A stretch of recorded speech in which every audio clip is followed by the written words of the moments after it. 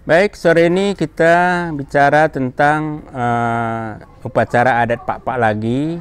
Sebelum-sebelumnya ada beberapa upacara. Hari ini saya menjelaskan sedikit tentang upacara merkotas. Upacara merkotas ini sering juga disebut dengan upacara menepuh babah. Kapan itu upacara ini dilakukan? Upacara merkotas ini dilakukan setiap memulai suatu pekerjaan. Kalau di desa atau di kampung, merkotas itu dilakukan ketika hendak meminang seorang gadis misalnya. Sehingga anak laki-laki yang mau meminang atau yang mau kawin tersebut perlu diberikan kotas. Bisa juga merkotas diberikan kepada seseorang atau sekelompok orang yang mengerjakan pekerjaan bangunan. Misalnya membangun rumah, sehingga para tukang diberikan kotas oleh yang punya rumah. Tapi sekarang ini lebih berkembang lagi. Merkotas itu bisa dilakukan juga ketika memberangkatkan anak merantau atau juga bukan merantau tapi memberangkatkan anak sekolah. Bisa juga ketika si anak berulang tahun. Dulu nggak ada memang berkotas berulang tahun. Bisa juga ketika mengikuti suatu ujian akhir sekolah. Misalnya untuk ujian akhir semester atau untuk kelulusan bisa juga dilakukan merkotas. Intinya merkotas ini sebenarnya adalah orang tua atau yang dituakan memberikan doa dalam bahasa Pak-Pak disebut dengan sudip kepada anak, ponakan, kepada tukang atau sesama mereka sendiri. Misalnya ketika hendak membuka suatu lahan hutan untuk dijadikan ladang. Bisa juga pada awal pertama ke hutan dilakukan berkotas.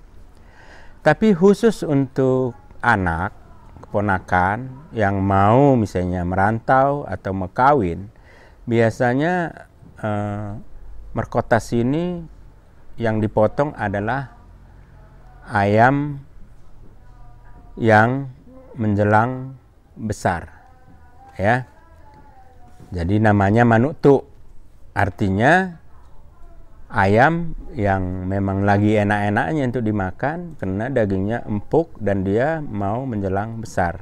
Itu namanya manuk tuk. Artinya supaya tuk itu artinya supaya tercapai. Tuk itu sampai atau tercapai cita-cita nanti. Kalau mau sekolah, mau ujian dan lain sebagainya.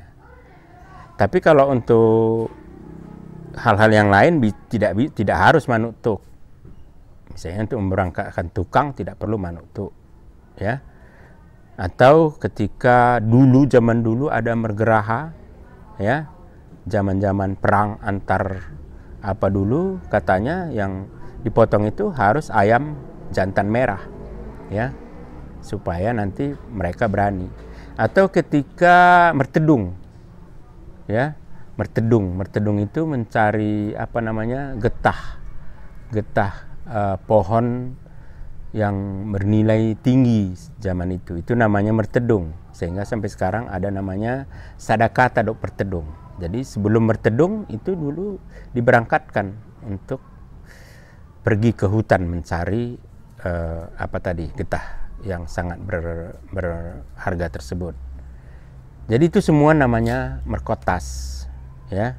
Jadi intinya merkotas ini adalah memberangkatkan seseorang atau sekelompok orang untuk memulai suatu pekerjaan atau dalam konteks saat ini e, memberangkatkan seorang anak untuk menggapai cita-citanya ya.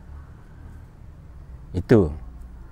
Jadi itu bedanya merkotas ini dengan uh, upacara lainnya.